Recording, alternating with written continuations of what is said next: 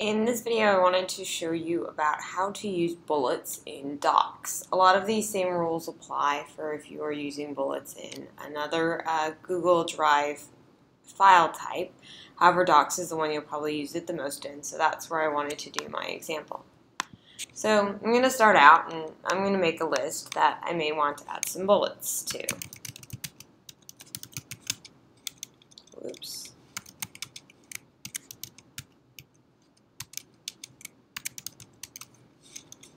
Can't spell today.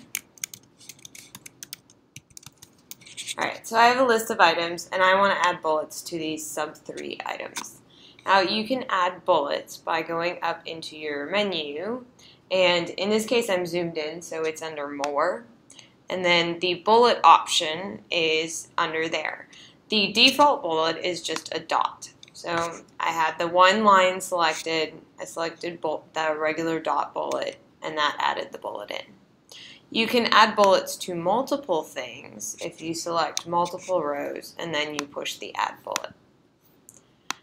Uh, one thing that you might want to think about doing when you are adding these bullets is that if you go to the drop down arrow right next to the bullets, you can see some options for the styles of the bullets that you use. Like to use the stars a lot. Um, the arrows are kind of handy too. And that will change what your bullets look like at every level. Now you'll notice that I, I, it showed different levels and the bullets look different at all the different levels. So let's look at how you make a sub bullet. I'm going to go under item 1 and I'm going to add a sub item.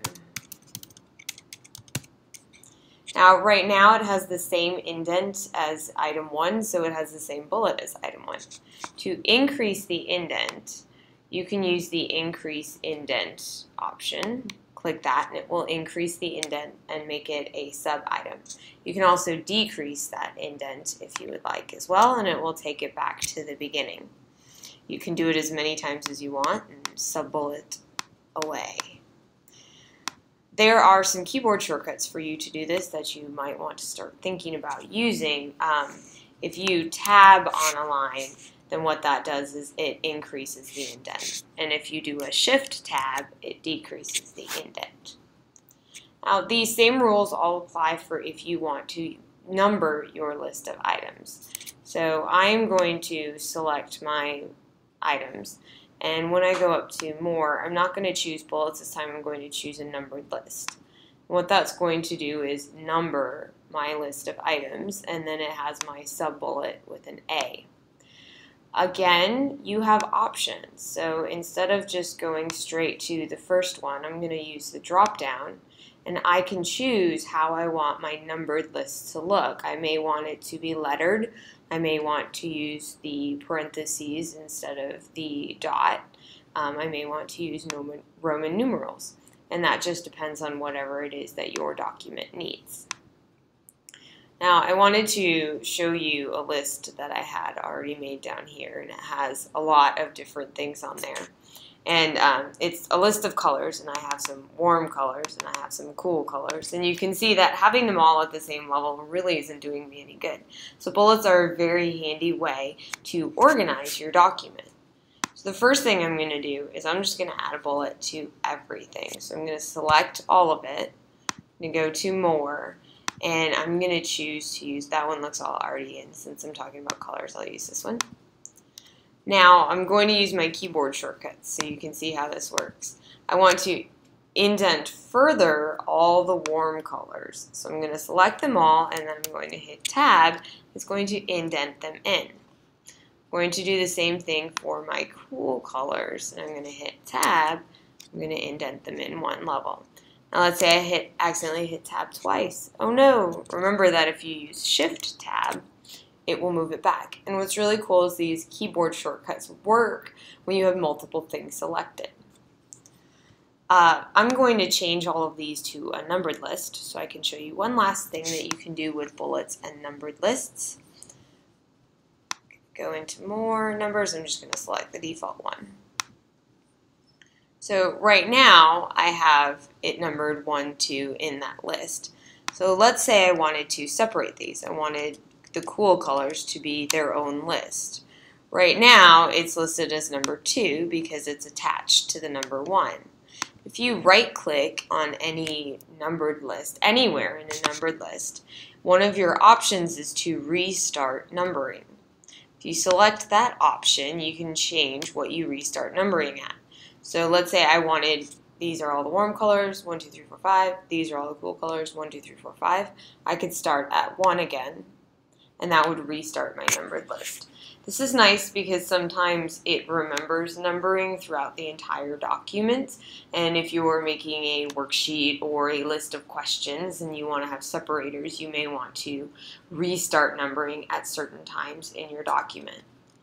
So that's all about using bullets and numbered lists in Google Docs. Remember that these uh, cool tips apply to all the other Google file types. And if nothing else, you guys learned your cool keyboard shortcuts. I am a huge fan of keyboard shortcuts. Remember Tab will indent and Shift Tab will unindent or decrease the indent. I'm making a quick addendum video that I'm tacking on to the end of my bullets uh, video because I wanted to show you one last thing related to bullets. This is actually something that you could make a whole video about because you can do this when you're not using bullets as well, but for our purposes, it's important to see how they work with bullets. So we're going to look at the indent. Right now, I have my little list of items that has the Roman numerals and the sub-bullet letters. And when I click on each of these different items, you can see up at the top there's this blue bar and blue triangle that move.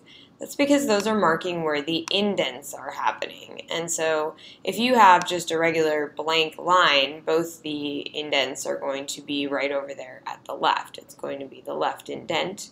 And then the um, bar shows the first line indent. So here we are on item one, and you can see that that line indent is a little bit uh, in from what the normal list of items is. You can also see that the left indent is coming in. And what that's doing is it's moving the bullet over.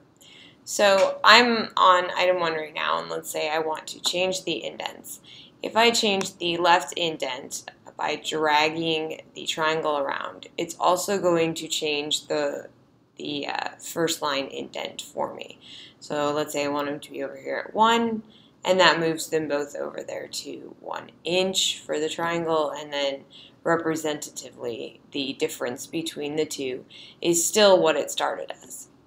Now, if I want to move the first line indent, I can click on and hold on the rectangle and move that left and right. So I could have it start over sort of where the other guys started. And probably a little more, there we go. And then I could have that big giant space because I had already moved that left indent.